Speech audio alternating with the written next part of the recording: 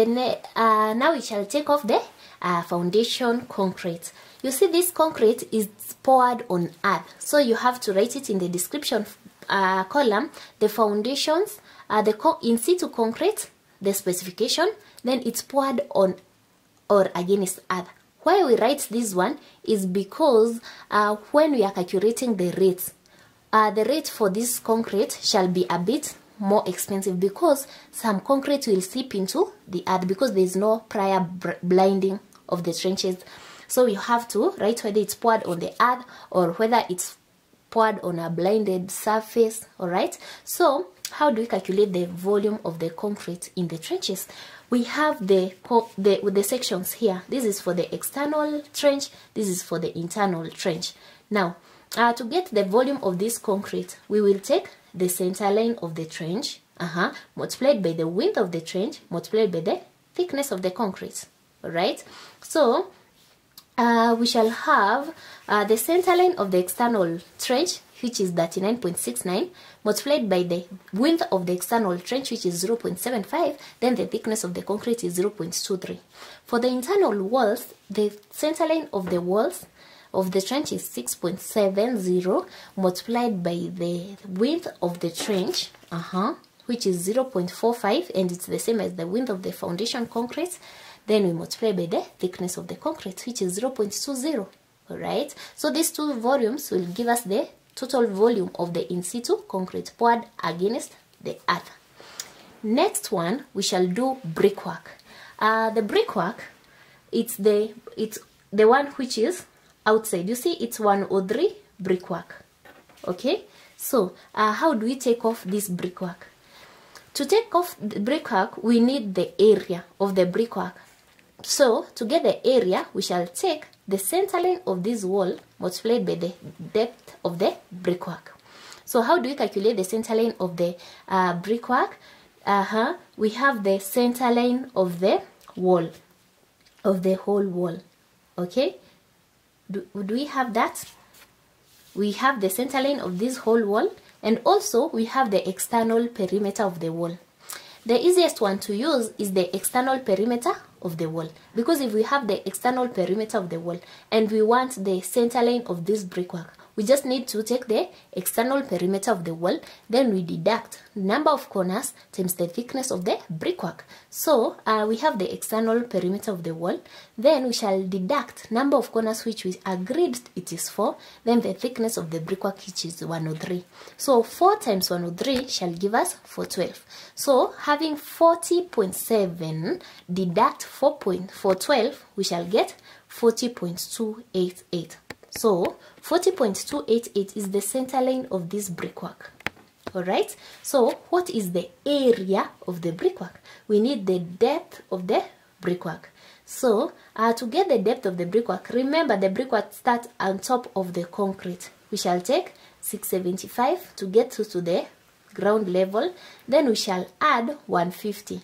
Where 150 has reached, that's where the foundation is ending. Any other brickwork on top is brickwork for superstructure. So we shall take 675 plus 150. We get 825. Alright? So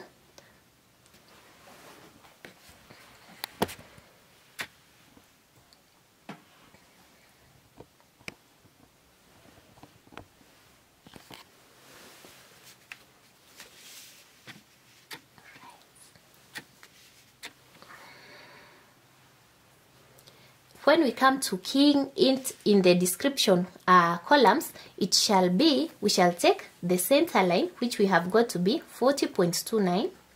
Then the depth is 0.83. Mhm. We shall describe it as common brickwork to BS 3921 in street in uh, cement mortar ratio 1 is to 3. The walls is height uh-huh this one. We shall we shall it's their initials. It is height below? I don't know. Brickwork. So uh-huh this one you shall find it in text on your video. So uh this one is external walls for the inner skin. We already done with the doing the outer skin which was brickwork. Now we'll go to taking off the inner skin which is made up of blockwork all right? So uh, how do we find the area of the blockwork we shall need to find the center line of the blockwork we, we have the external uh, perimeter of the wall. So to get the center line of the blockwork we just need to now that we have the external uh, perimeter of the wall we need to uh, get now the external perimeter of the blockwork then uh, uh, find the center line of the blockwork here by taking the number of corners times the thickness of the blockwork or we can find the internal perimeter of the wall. Then we add four number corners times the thickness of the blockwork. And the latter uh, method is is easier. So we'll find the internal dimensions of the plan. For example this is the plan.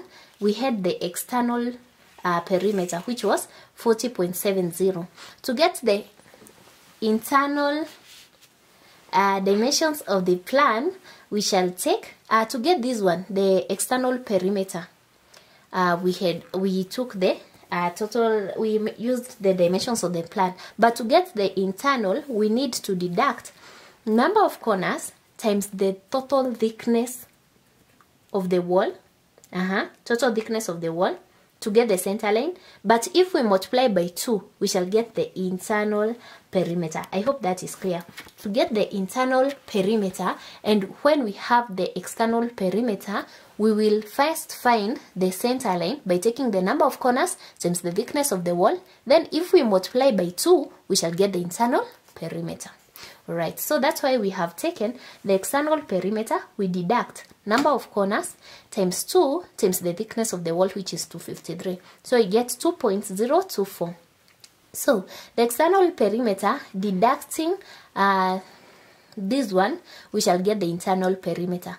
If we have the internal perimeter, we just need to add number of corners times the thickness of the blockwork. The blockwork is 100 millimeters thick. So if we have the internal dimensions, the internal perimeter, we just need to add number of corners which is 4 multiplied by 100. We get 400. So this one plus this one, we shall get 39.7076 millimeters meters. So that is the center line for the blockwork. Now we need to find the area for the blockwork.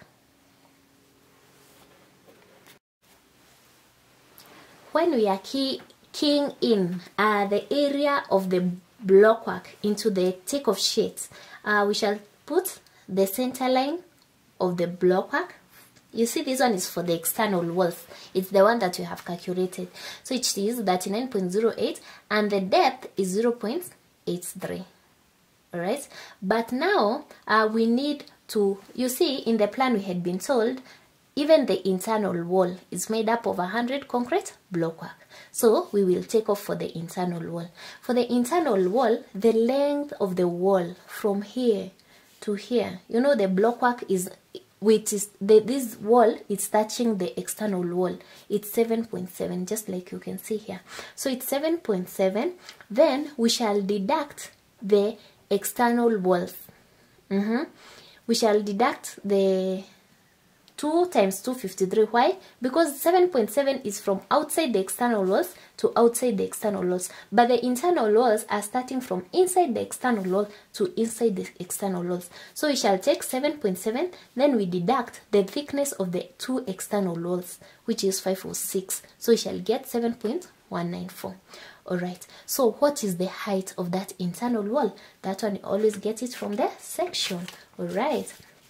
So in the section, uh, we are shown, we are shown that this one, uh, the height from here to above here is uh, 300, 350 to the formation level, uh -huh, plus 200, alright, plus 100 millimeters concrete. You see this concrete is 100 millimeters.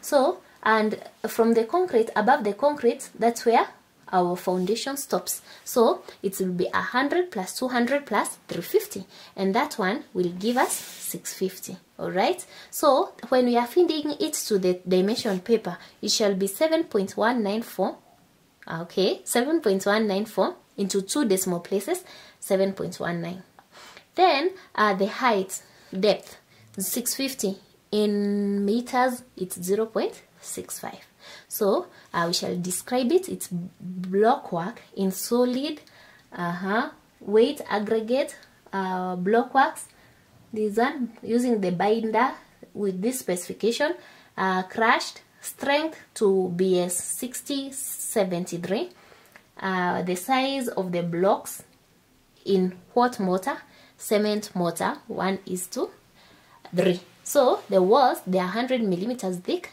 they include the external walls which measures this and the internal walls which is the inner skin which measures this. So these ones will give us the areas for the block works